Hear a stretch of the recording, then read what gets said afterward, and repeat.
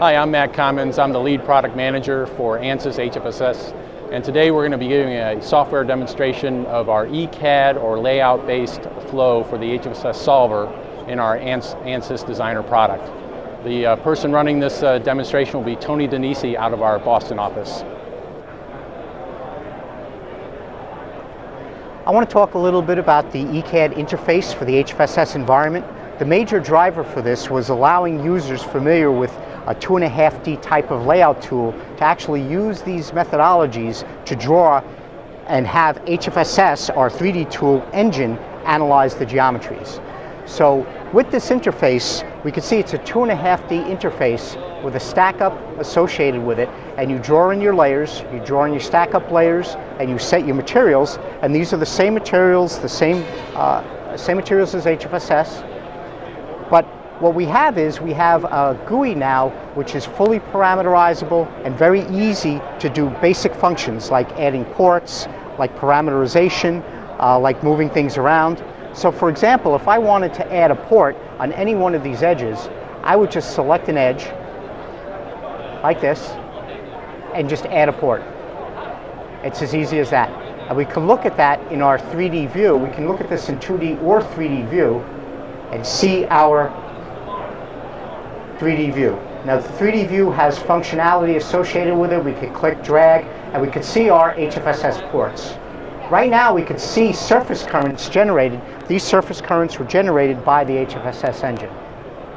So back to the 2.5D GUI. The 2.5D GUI is now linked with the HFSS GUI and we can slide and rotate the GUI to see whatever uh, rotational view we want.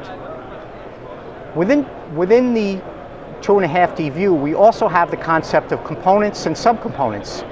Each of these individual pieces can be considered parameterized subcells.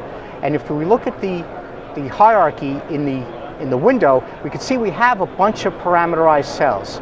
Each of these parameterized cells can be monitored individually or together or be dependent on each other.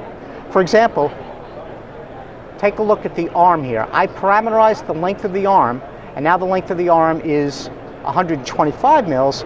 I can make this 100 mils, and it will automatically change. Any one of these objects can be parameterizable, or we could set them manually, however we'd like to do it. Vias, to add a via, it's very straightforward. You click on a via, you add a via, and you choose from what layer you want it to go from. So for right now, I could choose my top layer, which is PEC, and I could go down to my top layer, maybe any one of the layers in between, to on trace layer.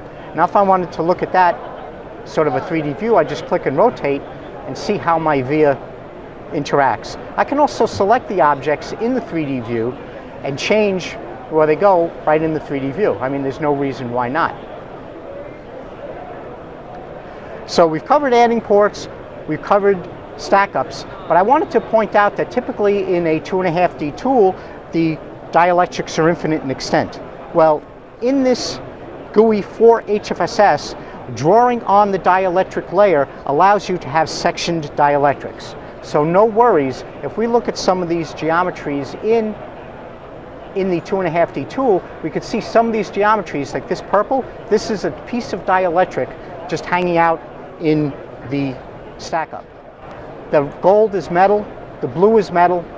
This hollow box, that's dielectric, which is a polyimide coating, which is on top of a bunch of different dielectrics. So adding dielectrics, adding ports, adding vias, changing the stack up, parameterization has been simplified with the 2.5D tool as opposed to having to draw everything in 3D. If we wanted to look at our 3D view and plot currents, this, uh, I'm gonna, what I'm gonna do is I'm gonna close this and reopen it because I don't know what I've changed because that was a solved project.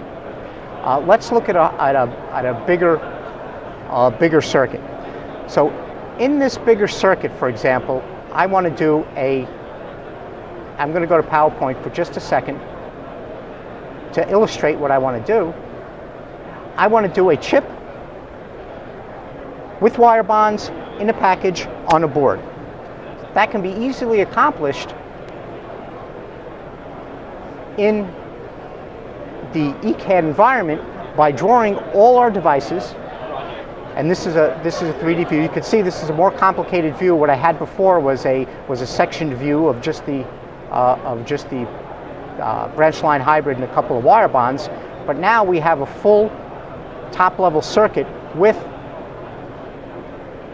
and I'm going to turn off I'm going to turn off my labels here and if we view and zoom in this is a full HFSS analysis coupled with circuit analysis of a board with a chip in a package with lumped elements with bond wires all merged together.